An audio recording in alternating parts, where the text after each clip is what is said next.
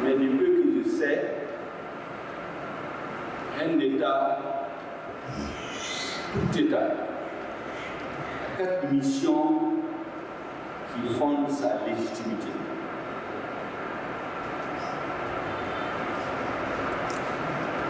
Dans l'évolution des hommes, ils ont eu le besoin, le premier besoin, c'est de se sécuriser. Petit à petit, c'est pourquoi tout État, tout gouvernement, qui ne peut pas assurer la sécurité de ses citoyens, de ce territoire, qui ne peut pas être un gouvernement légitime. Quelle que soit la façon dont il prend le pouvoir, qu'il soit élu, qu'il prenne le pouvoir par coup d'État, qu'il soit par hérédité qu'il accède au pouvoir. Le premier besoin de l'homme, c'est la sécurité. L'une des missions de l'État, c'est assurer la sécurité de ses citoyens. La deuxième mission d'un État, c'est créer les conditions pour que ses citoyens puissent être nourris. La nourriture, l'éducation, la santé font partie des missions d'un État.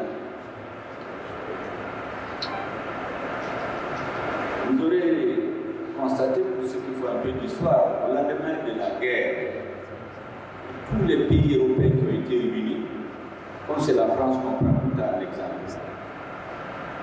je dis brièvement ce que les Français ont fait. Ils ont mis un gouvernement qui avait quatre missions. Et restaurer l'autorité de l'État français sur l'ensemble du territoire en éliminant les dernières portes de la résistance fasciste. La deuxième chose, assurer l'approvisionnement des populations pour les nourrir. Quand il y a il y a tout la, nourriture, la santé, le chauffage, bref, les nourrir. Deuxièmement, restaurer les infrastructures économiques, les routes, les ponts, les chemins de fer.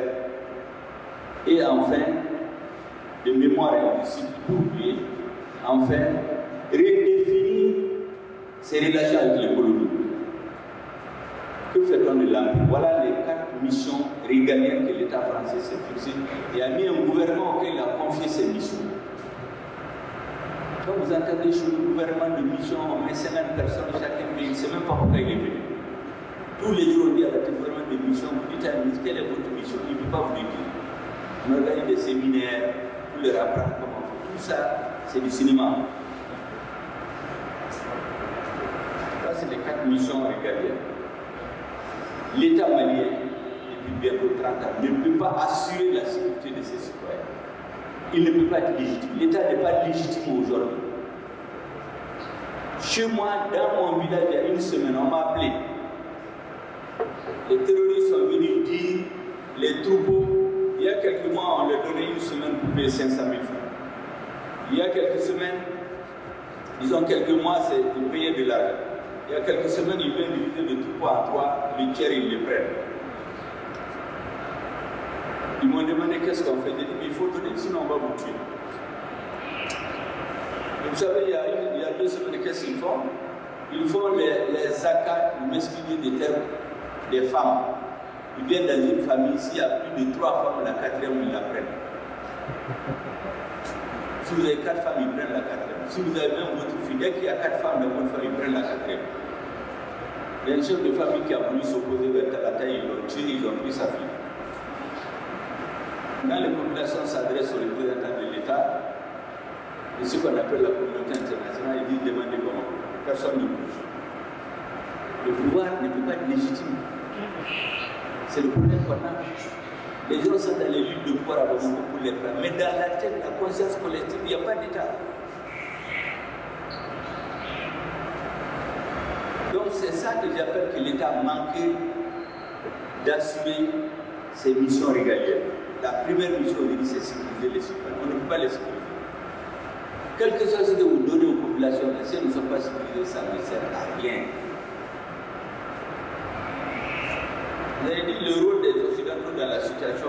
Vous avez donné des acteurs. Il y a l'État malien, à travers les présidents, Vous avez la communauté internationale, c'est là qui a les pays occidentaux, le progrès est largement développé. Le principal pays occidental qui est en cause. Avant, il y avait Kadhafi aussi. Les rébellions étaient entretenues par ces deux pôles. Après, ils ont réglé le compte et ils ont retrouvé une partie des gens qui étaient chez lui sur le Mali. Donc leur rôle est connu. Ce sont ces pays-là qui, qui soutiennent politiquement la rébellion. Aujourd'hui, le Mali de souveraineté que sur papier. Au Conseil de sécurité, les résolutions qui sont introduites, ce n'est pas le Mali qui les introduit, c'est un pays qui les écrit, les introduit au nom du Mali. Dans le temps, c'est les diplomates maliens qui écrivent toutes les résolutions qui concernent le Mali, ce n'est pas le cas. On est un pays sous tutelle, même si on ne le reconnaît pas officiellement. Donc ce rôle est connu. C'est pourquoi j'ai dit, hier je disais dans une conférence à l'université, parce que je donne beaucoup de débats actuellement pour les étudiants, pour les professeurs dans les grandes universités. Parce que la phase de la conscientisation de la jeunesse et des populations me paraît extrêmement importante. Quand on n'est pas, la population ne comprend pas, elle ne peut pas se battre. J'ouvre une parenthèse, il y a plus de 500 ans, un grand empereur chinois voulait faire la guerre aux voisins. Il y a un conseiller qui dit, je parle en termes modernes, chef, ne fais pas la guerre. On va perdre trop d'hommes, de l'argent, ça peut durer. Ce qu'on fait, organisons-nous avec nos services pour introduire la corruption au sein de l'élite dirigeante. Organisons-nous pour détruire leur système éducatif. On se donne 20 ans. Si on fait les guerres, ça peut durer des années. On va faire beaucoup d'hommes et. Organisons-nous pour introduire la corruption au sein de l'élite dirigeante. Détruisons, désorganisons leur système éducatif. Dans 20 ans, nous aurons des pays dirigés par des corrompus, un peuple analphabète et ignorant dirigé par des corrompus. En une journée, on va les prendre. Comparé à ce qui se passe au Mali depuis 20 ans. C'est pour cela que 500 Mali sont venus prendre notre pays. Je reviens maintenant au sujet pour parler du rôle des Occidentaux. J'avais dit qu'il y a trois acteurs les dirigeants de notre pays en qui le peuple a placé sa confiance, les puissances étrangères qui ont des intérêts et les dirigeants des mouvements séparatistes. Et dit hier dans une conférence à l'université faut se poser des questions qui sont les acteurs, quels sont les intérêts qui se cachent derrière. Quand on n'a pas de réponse à ces questions, on ne comprend pas le problème. Et les intérêts qui se cachent derrière, des intérêts géostratégiques clairement définis, qui se cachent derrière la. Et une des raisons de ces intérêts, c'est ce dont le professeur a parlé. C'est les immenses richesses qui sont contenues dans le sous-sol malien, sont convoitées par beaucoup de puissances étrangères. D'où leur responsabilité dans la perpétuation de la crise. Vous aurez remarqué 2013, 2013, 2014, 2015, 2016. Chaque fois que l'armée malienne allait prendre le dessus sur les mouvements séparatistes, quand ce n'est pas l'amunissement, c'est Barkhane qui intervenait pour stopper l'avancée des forces maliennes ou des mouvements patriotiques. Pour créer en permanence une situation de ni paix ni guerre pour faire de l'interposition.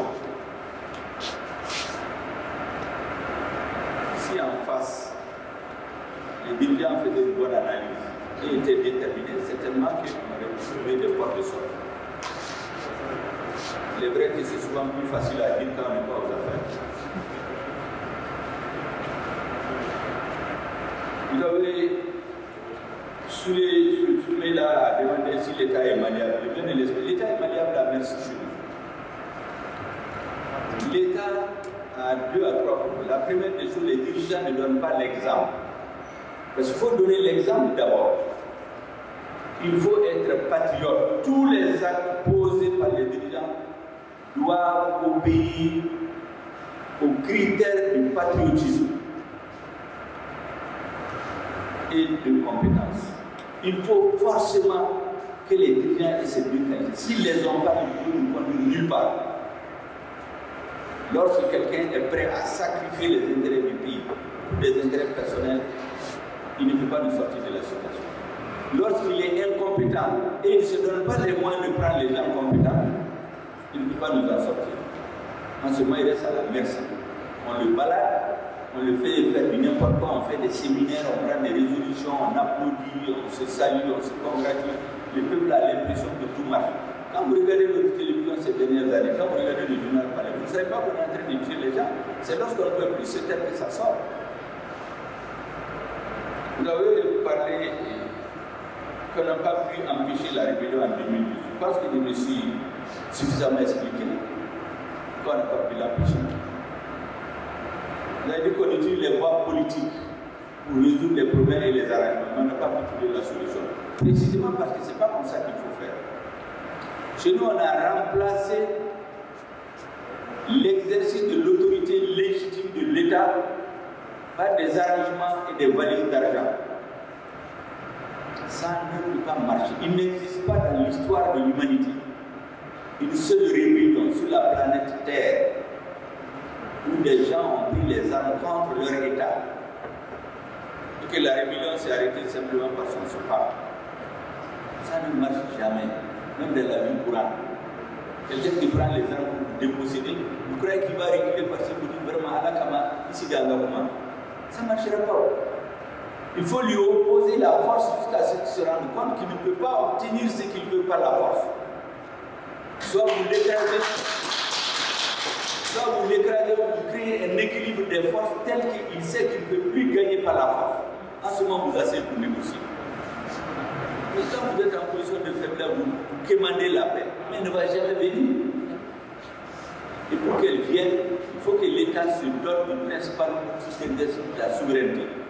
Il faut des forces armées bien équipées, bien organisées, disciplinées.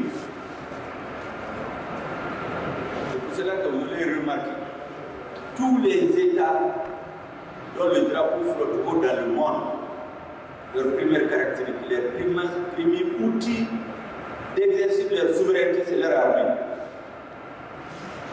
A plus de 140 pays dans le monde.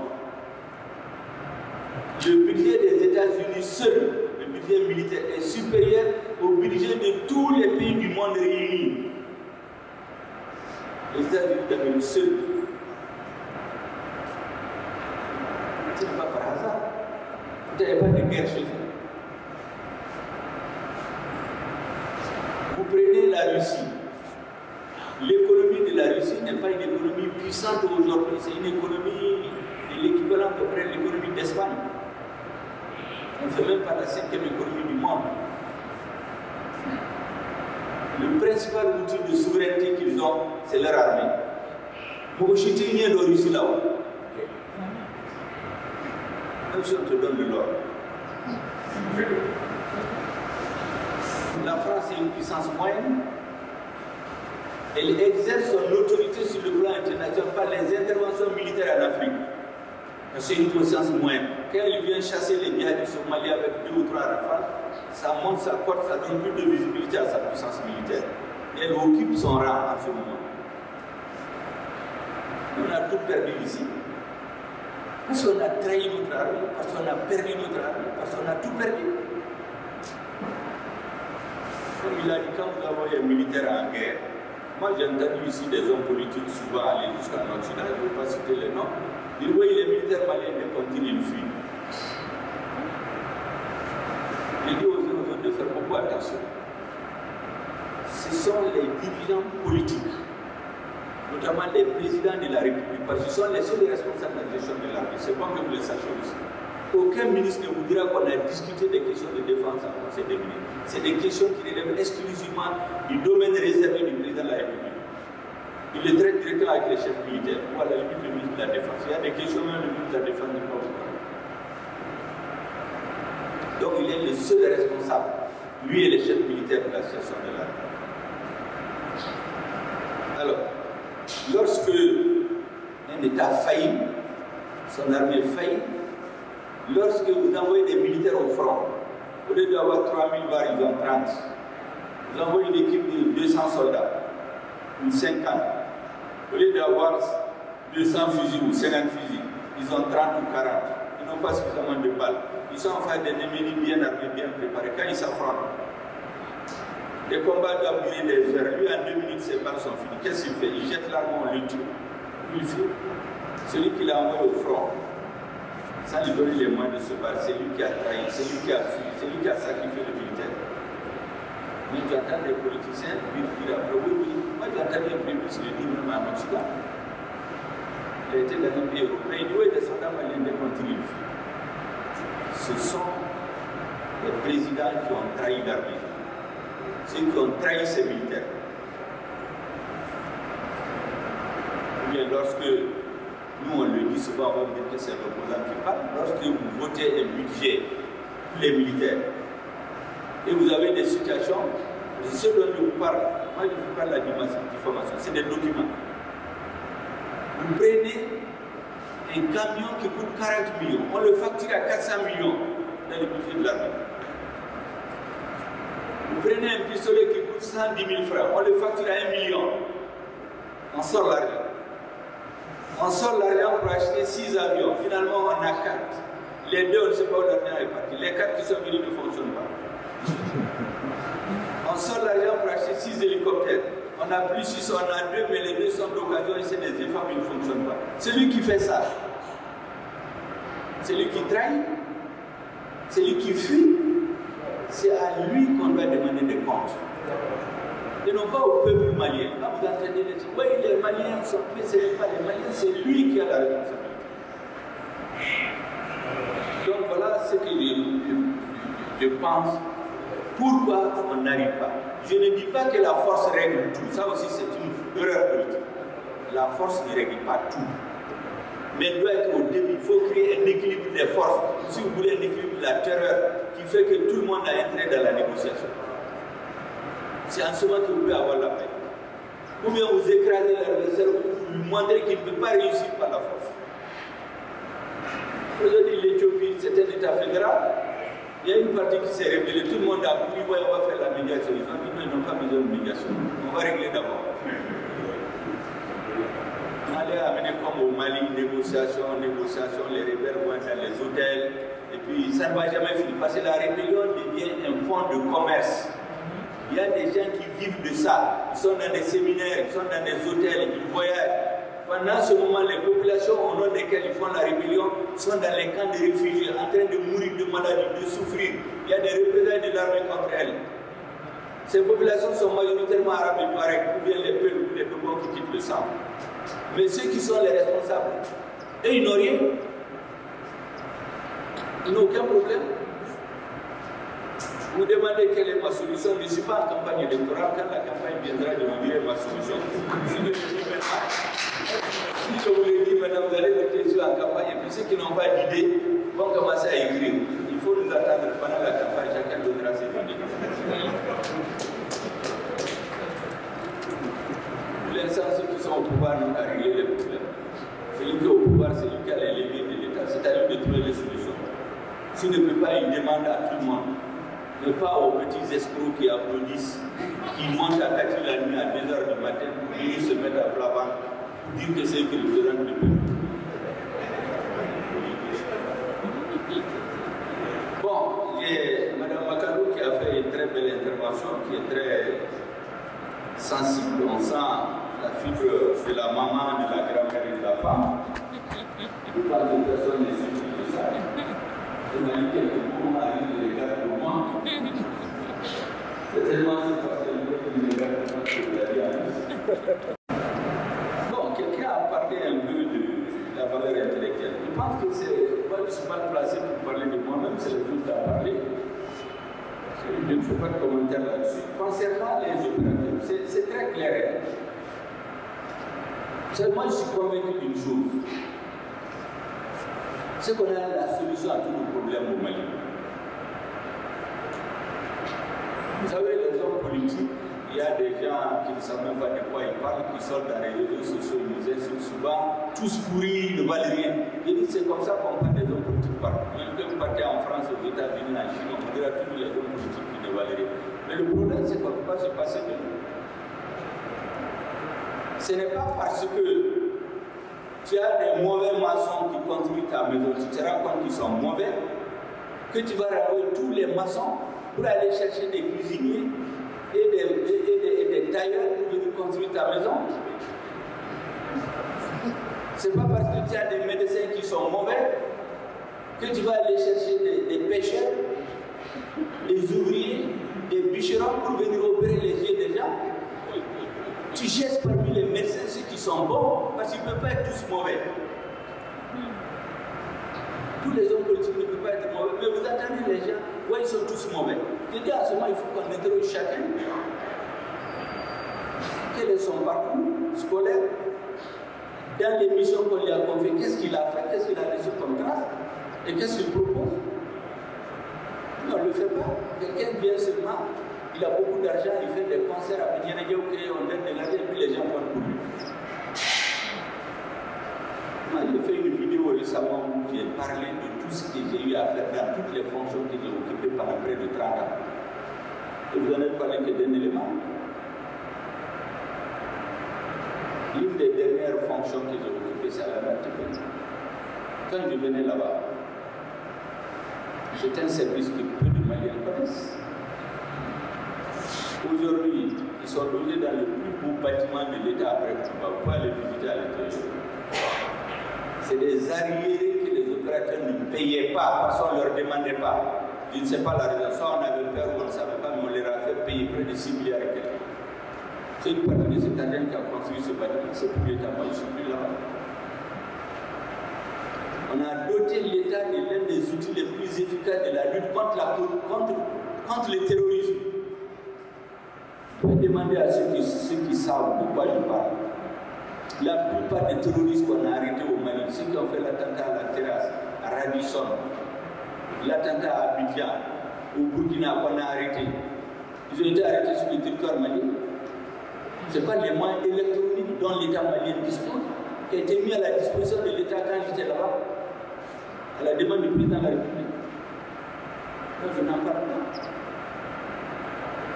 Pendant l'occupation, je faisais des réunions avec les officiers supérieurs jusqu'à 2h, 3h du matin, pendant les moments de libération, pour mettre le peu que je connais à la disposition des services compétents de l'État pour libérer le pays. Après, la guerre, on n'a jamais parlé de ça, d'ailleurs, je ne même pas en parler. Vous avez vu, on a décoré les ministres, ce n'est pas pour qu'on me décore, je n'en veux même pas. On a rempli des salles de 3000 personnes même des illustrés inconnus, des escrocs qui insultent le président, on les appelle pour les décorer pour qu'ils se taisent. Moi, je suis certainement l'un des rares de la République, j'ai fait deux fois le gouvernement, n'ai jamais été décoré, je ne m'en suis pas plaint. Parce que ce que je fais, je le fais pour le pays. Effectivement, les opérateurs, vous vous rappelez, j'avais sanctionné ici un opérateur de 18 milliards 700 à l'État. Et j'ai les papiers aujourd'hui, c'est l'État qui n'a pas voulu aller prendre son argent. J'ai mis les papiers à la disposition du ministre des Finances pour récupérer son argent. Il n'a pas récupéré, c'est le crime de mon devoir, parce que je ne suis pas chargé de recouvrement. On a mis aussi des équipements pour que l'État puisse savoir exactement le vrai chiffre d'affaires des opérateurs. Parce que quand ils viennent payer l'impôt, c'est à partir du chiffre d'affaires qu'ils déclarent. Mais l'État n'a aucun moyen de vérifier est-ce que c'est ça le vrai chiffre d'affaires. Il faut que quand il amène l'État puisse dire Ah, moi j'ai vérifié, voici le vrai d'affaires. Ce que tu me dis là, il faut l'augmenter un peu ou diminuer. Généralement, l'État demande d'augmenter. Mais il faut d'abord la preuve. Il faut la preuve technologique. Ça, je l'ai fait avant de quitter.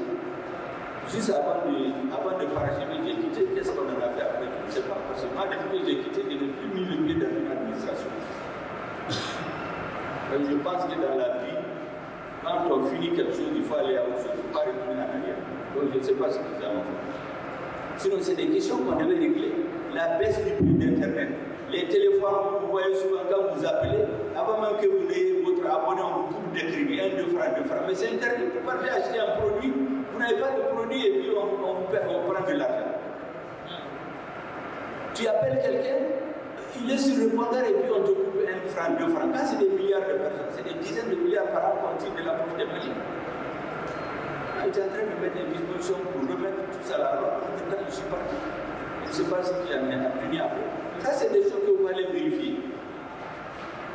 Donc ça, c'est... On peut continuer. Je peux continuer. J'ai fait une vidéo où j'ai expliqué tout ça. Lorsqu'à un moment donné, il y a une cabale qui a été montée contre moi, il est corrompu, il y a des dossiers sur lui, il n'a rien fait, qu'est-ce que vous avez fait? Moi, je mets quiconque au défi.